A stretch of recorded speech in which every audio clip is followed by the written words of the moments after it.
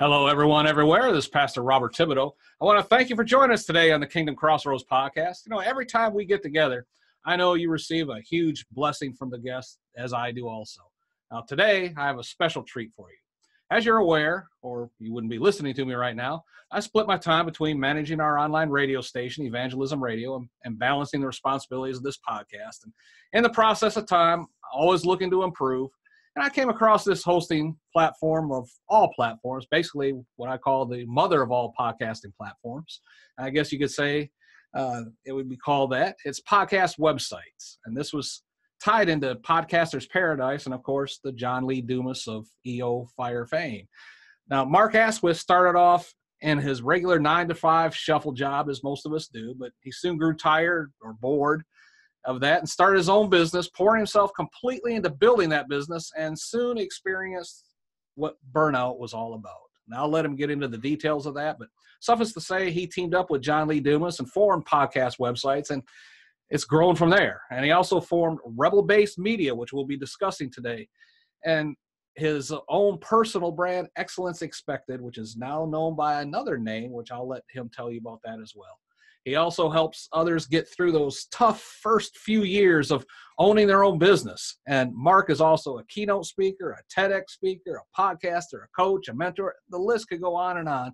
Suffice to say, Mark is probably one of the most experienced podcast marketers that I have had the privilege of meeting. I met Mark at the Podcast Movement Convention in Philadelphia in July 2018, and and he's agreed to come on our podcast today and share with us. Now, help me welcome to the program, coming to us all the way from the United Kingdom, Mark Asquith. Mark, thank you for taking the time out of your busy schedule to join us today. Well, thank you for having me, sir. It's a pleasure. Always a pleasure to be around. Amen. Now, the first question, Mark, I always ask each and every guest is just tell us in your own words who is Mark Asquith?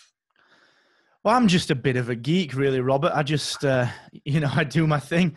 Um, yeah, I'm, I'm kind of, I'm just some kind of podcast tech geek at the minute. That seems to be where I spend all my time, as you mentioned in the, uh, in the, in the kind words that you mentioned in the introduction. So I'm, I'm, I'm, I'm over here in the UK, and I own a number of businesses in, in the podcasting space, and then my own personal brand out of the podcasting space. Um, and spend my time generally helping podcasters, you know, to to, to, to start their show and to build their their their their brand into becoming an audio influencer. You know, I'm a big believer in we podcasters rapidly become audio influencers if we if we uh, give ourselves the the ability to grow like that. So that's what I do really. You know, that's how I spend my time. That's what I that's what I, I, I generally find myself doing. It's uh, yeah, it's, it's it always makes for a busy day. Yes, it does. Now, the first question, just to lay a little bit of background, tell us about your first business venture when you quit your nine to five job, and tell us how that burned you out and what you learned from going through all that. Yeah, so that, that's a while ago now. I was I was running a design and brand agency. So right now I'm I'm the owner of podcast websites. I'm the owner of Captivate FM, which is a hosting platform for podcasters. I'm the, the owner of Rebel Based Media um, and my own personal brand stuff. But none of that existed. Um, I want to say five years ago. Um, you know, I, I was running a design and brand agency. I was I was running a, an agency called Hacksaw, here in the north of England. And we did really interesting kind of brand and digital work. We'd work for people like Bosch and for Adobe, and we'd, we'd designed covers for Fortune magazine and, and all sorts of things like that. You know, it was really interesting work. But I, I found that um, you know that was the first thing that I went into after I quit my nine to five, and that led me to this massive burnout because I didn't realize that there is something genuinely true about the whole work smarter, not harder um, cliche, and it was it was just something that was that was interesting to me when I found myself just wondering, like, why do I feel bad about about working so much? Why am I not getting in the results that I should be getting because the hours are going up and the hours are going up, but nothing's changing? Um, why am I why am I simultaneously liking what I'm doing, but at the same time absolutely detesting what I'm doing? Um, and that was the burnout. Yeah. You know, that was the and the physical kind of the the, the, the low mood, almost a depression sets yeah. in um, and that yeah so that was that was that very odd experience. And it's it's difficult to catch that you know you've got to you've got to really be mindful of it and, and be aware of it. Yeah amen. And i kind of like it at being married. You know some days are really great and then we won't talk about the rest. I think that's called ups and downs. That's what they tell anyway, now how has everything you've done since then involving branding, marketing, promotion? That's you're still in in that niche, uh, but what have you learned as far as how to manage your time and all that uh, since the first experience?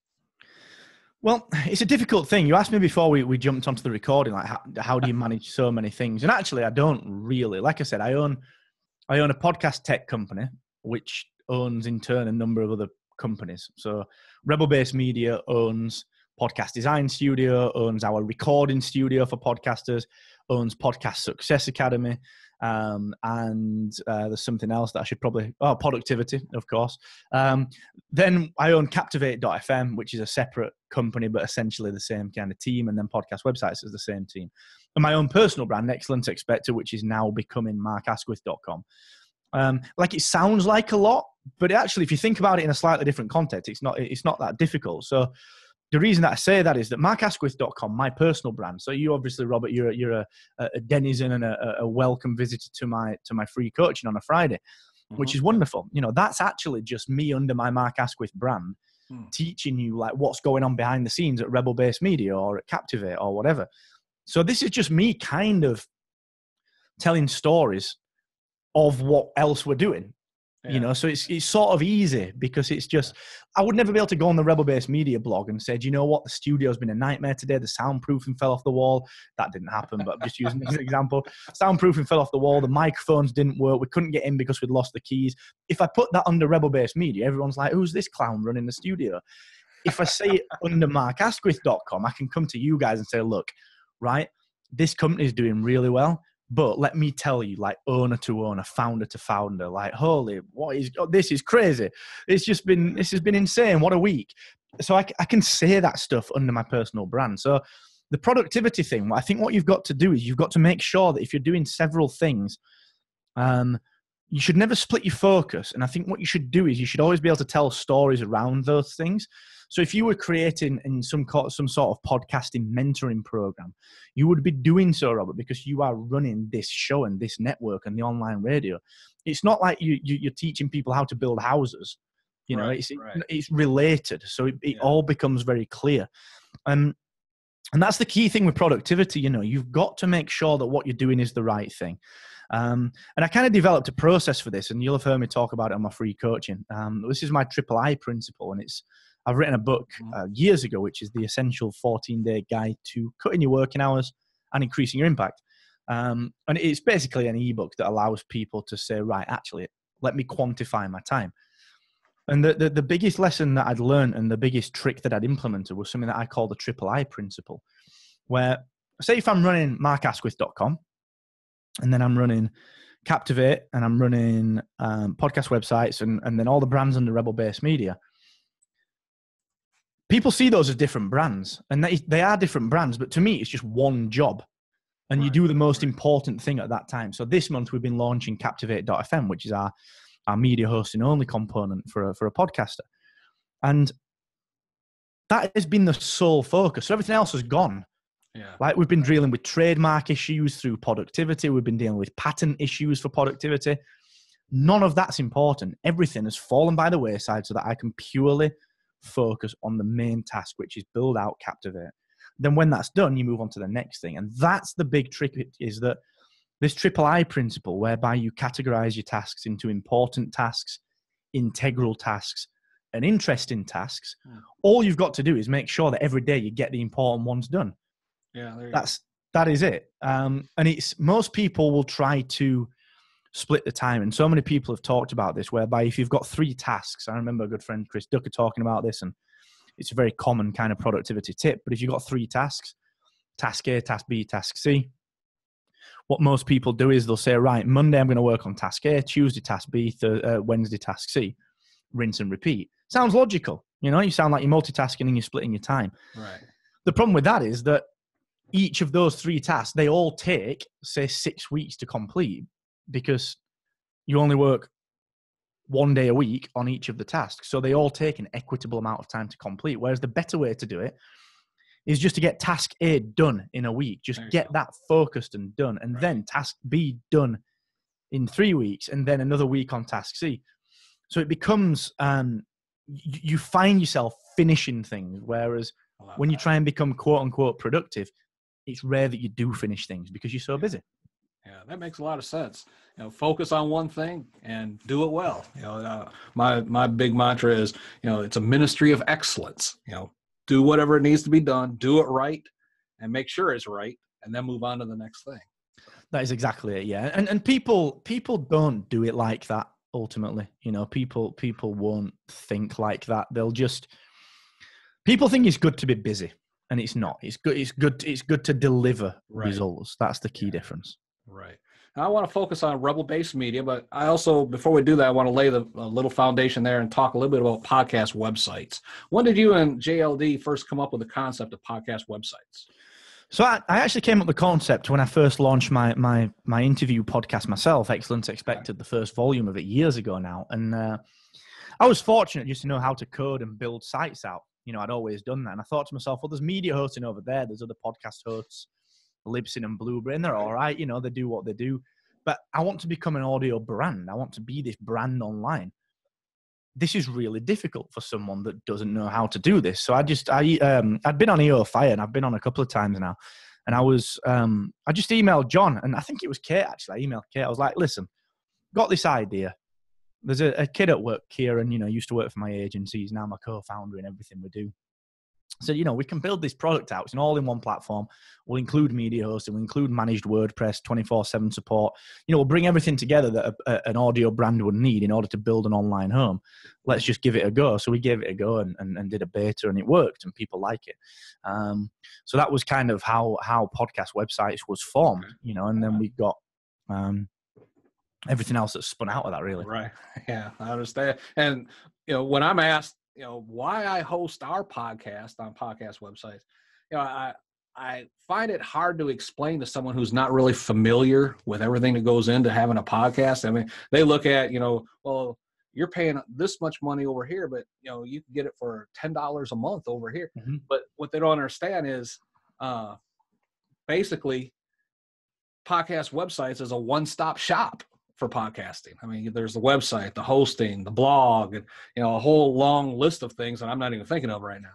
But you know, and I try to explain it. It may be cheaper hosting it elsewhere, but by the time you piecemeal everything together, you're right back where you're at with mm-hmm. podcast websites. But you just have it all in one easy to manage spot. Now, uh, correct me if I'm wrong, but is Rebel Base Media uh, how can I say, an extension of podcast websites? Is that an accurate description?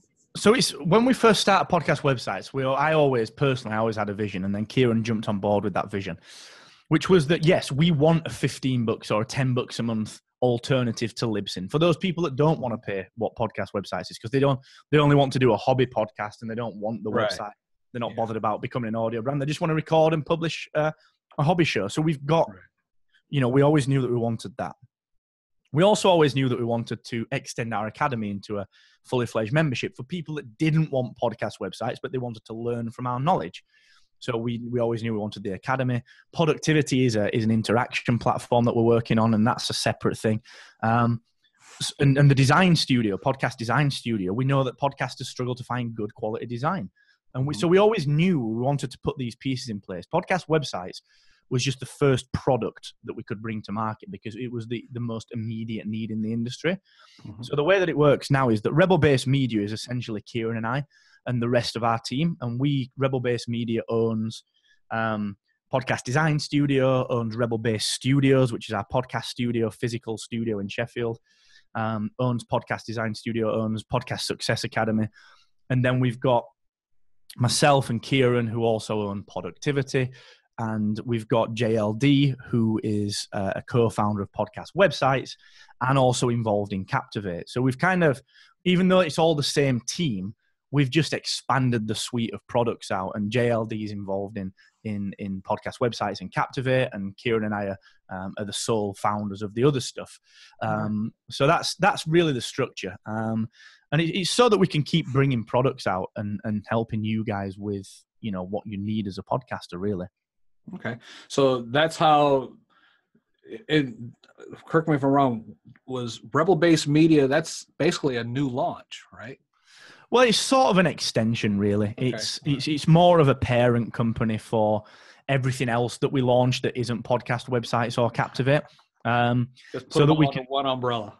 So, yeah, pretty much. And for all intents and purposes, you know, the public generally sees Rebel Base Media as owning podcast websites and Captivate in in you know strictly paperwork legal terms that is you know they're different legal entities but ultimately it's the same team it's the same people so we are Yeah. we we- we're generally seen as rebel base media is the parent company for everything that we do okay. How can someone use Rebel Based Media to build their podcast audience and simplify their podcasting life? Well, that's the beauty of it now, Robert, is that you can use us for whatever you need. So if you just need a media host, you can come to Rebel Base Media and we'll say we'll point you in the direction of the Captivate platform. If you want to build your audio influence and, and really build an online hub and, and start to blog and start to build a membership site and start to build everything out online underneath your brand, then podcast websites, which comes bundled with Captivate included. Um, if you just want our knowledge, then you can join our podcast successacademy.com. Um, if you want to come into our studio and physically record, so if you're in the UK and you're like, "Do you know what, I want a podcast podcasting recording studio, you can physically walk in and record your show with us. Um, and then if you want your cover art for your podcast, or you want some ebooks or landing pages or your branding doing, you can use Podcast Design Studio. So you can use you can use any one of these things in in in their own specific way, or you know you join podcast websites you get the opportunity to get a discount on your podcast design studio stuff you get captivate fm bundled in as your media hosting which you'll be going through that transition over the next week as we plug captivate into your website um, and it, it, yeah you know we can we can generally help in any guise that you want whatever that might be Amen. Amen. Now, I'm thinking of one of the areas a new podcaster has trouble with is basically finding their own voice or their brand, if you will. How can Rebel Base Media help a new podcaster or business owner or nonprofit leader or whoever build their brand and find their voice in their podcast to help grow their audience? So that's an interesting question. Generally speaking, you know, that's something that we'd point you into the academy for because branding is a very difficult thing. You know, and branding most people see as a logo. Yeah, yeah. Excuse me. Color Um, scheme. but it- yeah, color palette and pictures, and it's not. It's it's you're right. It's how you talk. Um, as an example of that, you know, I've been writing the support documentation for Captivate Captivate.fm this week, and there's there's very distinctly us style language in there. You know, it's sort of a you know one of the questions was how do I import a podcast from Libsyn.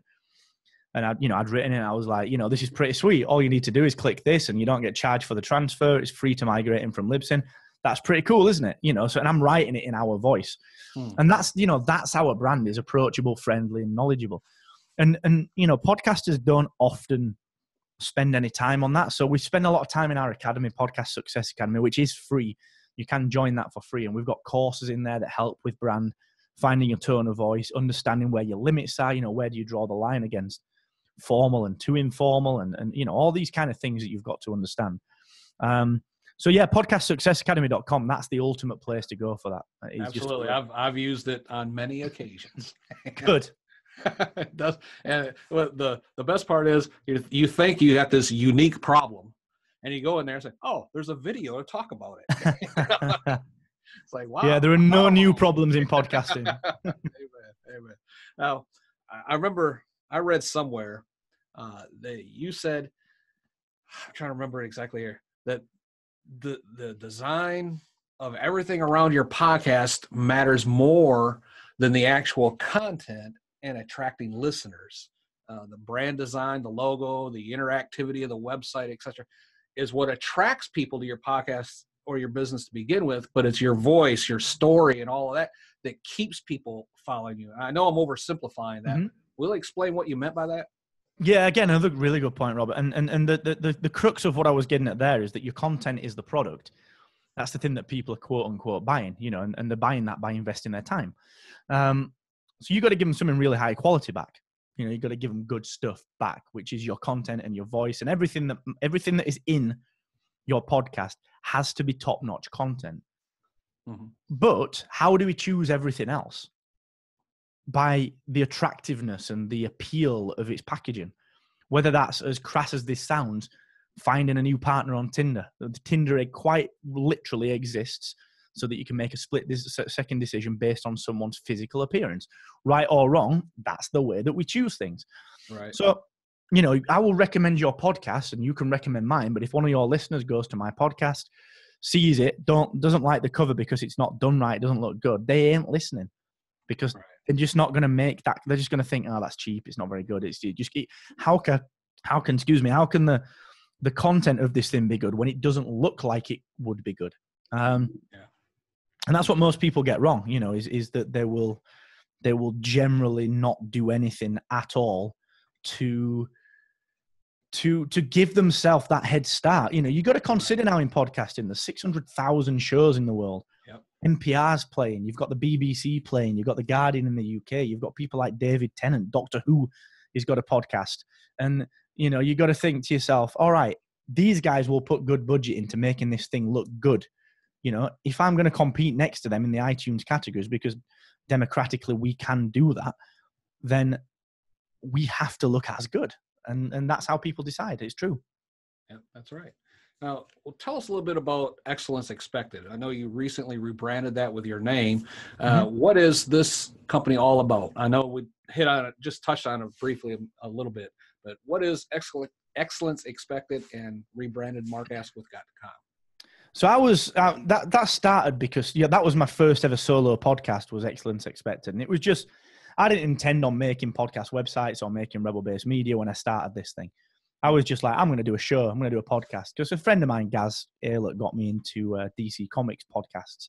So we started making a, like, if you can see on the screen behind me, there's like old DC Comics characters in the back, and there's a Superman thing there, and there's all sorts of stuff. Um, so I was like a big DC guy. So when I thought to myself, do you know what? I'm going to, because I'm running this design agency as I was back in 2013 when I started my first podcast, I thought, do you know what? I'm just going to create a podcast to talk about my experiences in business, maybe interview some people.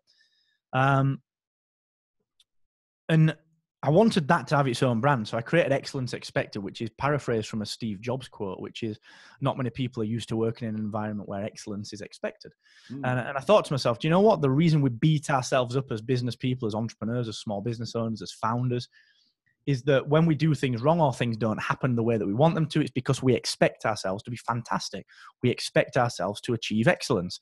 And that's when I came up with the tagline, you know, the more you expect from yourself, the more you'll excel because you do. You keep pushing yourself and hammering yourself and getting better and better. So the more you expect yourself to do that, the, the further you will excel. Um, the challenge with that was that as we started building rebel base media and we started building podcast websites you know I, I, do little bits of coaching for podcasters underneath my own brand i'll do my own content i'll do all sorts of bits under that um, it started to get confusing because people were thinking well, what's rebel base media what's podcast websites and then what's this excellence expected thing um, so this year i'm making the big shift to moving that to markasquith.com so it's just very very clear all right, look, this is the founder of Rebel Base Media, mm-hmm. basically talking about his experiences in founding a business. Yeah. Um, so that's been the goal of that one. Um, Okay, and that's where you do your fr- your free Friday training on Facebook Live and all that as well, right? That's right. Yeah, yeah. And the reason I do that, like I said, Robert, is so that I can say things that I wouldn't be able to say under the Rebel Base Media brand. I can say, do you know what, guys? It's been a really bloody hard week. Um, whereas if I say that on the Rebel Base Media blog, everyone's like, why would I trust these guys with my podcast? Because they can't right. even deal with their day. When really, we're talking person to person. Same thing. Yeah. Right. Okay. Well, as we get ready to close, can you tell us, in your opinion, what's the number one thing a new podcaster usually does wrong and the number one thing they need to watch out for? They spend too much time producing the content and no time at all marketing the content. Each episode should be treated like a product, and that product should be marketed to the nth degree. Hmm. Okay. What's an insider secret that you could give our listeners about the one thing that podcasts are, are great at doing, but very few people know about? Um, I, I think people know this, but I don't think many people fully value it. The great thing that they are amazing for is building your network out. So if you're entering an industry fresh, if you're starting a new ice cream shop local to your house, go and create a podcast or a video series or something that puts you in front of the people that you want to buy your ice cream. You know, so if it's parents and you want to get want, want them to bring their kids in, you create quite literally a podcast which is all right, this is me talking to parents about their kid's favorite favorite flavor and why it's so good. Use it to build the network of people that you want to work with. Yeah, amen.